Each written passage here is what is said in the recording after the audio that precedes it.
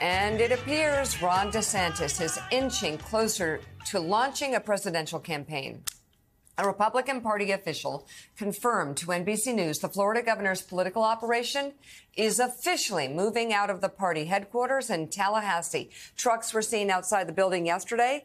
This move is expected to cost more than $5,000. If DeSantis' office spends that much money, they must file a report within 15 days officially declaring his candidacy, so we could be upon it. Meanwhile, DeSantis is ramping up his attacks against Donald Trump. During a press conference yesterday, the Florida governor brought up the Republican Party's losing streak while Trump is in office. Well, I look at the last however many election cycles 2018, we lost the House, we lost the Senate. 2020, Biden becomes president, or no, excuse me, we lost the Senate in 2020. Biden becomes president and has done a huge amount of damage, very unpopular in 2022. And we were supposed to have this big red wave. And other than like Florida and Iowa, I didn't see a red wave across this country. And so I think the party has uh, developed a, a, culture of losing. I think that there's uh, not uh, accountability. And I think in Florida, we really showed what it takes uh, to not just win, win big, and then deliver big. Okay. He doesn't do it as well as you, but that's okay. Thank, he does it. Thank you, dear. No, I mean, you just got the list. And I mean, actually, very, just please don't do it again. Okay. It's so hard. But he kind of keeps getting, he wavers off. But the bottom line is it's a losing streak, and yeah. he hopes to break it. Willie, they've just lost so much. I mean, eh, this is, it seems to me this is a good tag for DeSantis. He does need to punch it up when he starts campaigning talking about, hey, I, I, hate losing. I don't, I don't want to be. Yeah, it's a culture of losing in the Republican Party. Donald Trump lost. Dude, you punch it up. But that's actually a really good message because yeah. I think most Republicans, most Republicans would would prefer winning to, and I won't go through the list. Thank you to losing like they did, it, you know. Go ahead. 17, 18, 19, 20, 21, 22, 23, and some massive losses. A massive loss in 23 uh, in Wisconsin, a massive loss in Kansas in 22, a massive loss in Kentucky uh, in, in 22 on, on abortion. Uh, and then, of course, a massive loss, even Florida, I mean, even governorships across the deep south in Kentucky and Louisiana in those off years. Like, yeah, they're losing the big races, but they're losing the smaller races too, because again, Trumpism does not scale. In fact, it pushes people away. I, I keep having it. I know it's anecdotal, but I just keep talking to, to Republicans. Yeah. Keep talking to them. And, and, you know, I used to, my anecdotal evidence was always, well, you know, they don't care what he does. They're going to vote for him anyway. Not that way anymore. Over the past three, four months, it's broken dramatically away from him. And again, people aren't saying it to me to make me feel good because they're the same ones who said, they're voting for a guy who accused me of murder because of regulations. So, I mean, so these people talk straight. And what they're saying now is he's going to lose.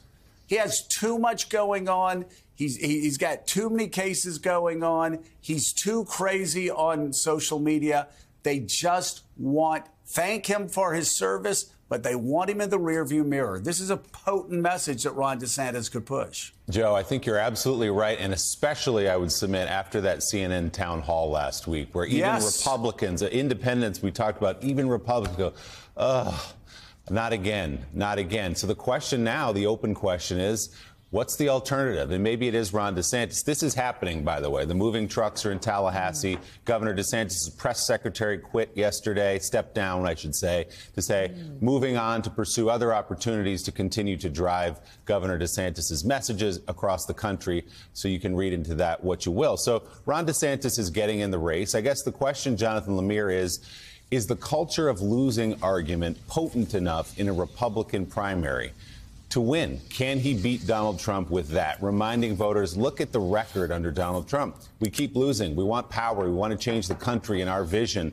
We need power to do that, and Donald Trump has cost us that, and he'll do it again in 2024. Will that be enough? There are those in the Republican Party that are do want to turn the page on Donald Trump, who say electability has always been Governor DeSantis' best argument, and that's why they've been so dismayed that he has fought culture war after culture war, whether it's against Disney and you know, it's the abortion restrictions and so on. That they feel like that's hurting that argument. They feel like he is when he does that, he is pitching himself to a smaller slice of the electorate because what you just heard there from the governor is a fairly clever way to attack Trump's record without attacking Trump the person. And that is what so many of these Republicans have struggled with is how do you distance yourself from Trump without either A, drawing his wrath or B, alienating his voters. And by doing it this way, we are not taking on Trump personally, but simply saying, look, under his leadership, we've taken all these losses, losses we shouldn't have suffered. That might be a sort of clever way to do it. And we spent time on the show yesterday talking about some of these state polls that show DeSantis fares much better than Trump in head to head matchups against Biden, including in some states, Joe, that really haven't been on the map for Republicans in a long time, things like Virginia and Colorado. So there's a lot here we don't know yet about DeSantis. He'll need to be vetted on a national stage. Yes, he had a good weekend in Iowa, but the, his pseudo campaign's been off to a shaky start. But he may have stumbled onto something that has a shot of working. It is so early. It is so early. Let me once again say that in July of 2007, uh, when they were even further along in, in, the presidential process than they are right than we are right now, uh, people were writing John McCain's obituaries uh, in newspapers, political obituaries, saying there's no way he could win the Republican primary. He came back and won the Republican primary. Katty Kay, though, you know, Willie brought up the town hall meeting uh, it, it, the other night, CNN. I'm, that's another thing I'm hearing from Republicans. And they're saying specifically, I'm not voting for that man. And we've been talking about women, the decision makers in the suburbs of Atlanta, the suburbs of Philly, the suburbs of Detroit, the suburbs of Milwaukee. And what did they see during the town hall meeting?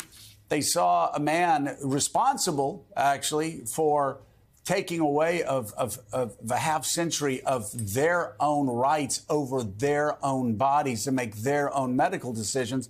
They saw him mocking and ridiculing a woman that a jury unanimously declared uh, a woman who was sexually assaulted by Donald Trump. And that night, he mocked her. And that night, he once again went back and said, maybe it's not a bad thing that stars like me have been able to sexually assault women yeah, for millions liable of, sexual of abuse. years, for millions of years, which of course we'll let him talk to his favorite scientist there. But, but again, the support keeps getting smaller because he keeps going out of his way, offending the very people that he needs to bring back on his side if he wants to win.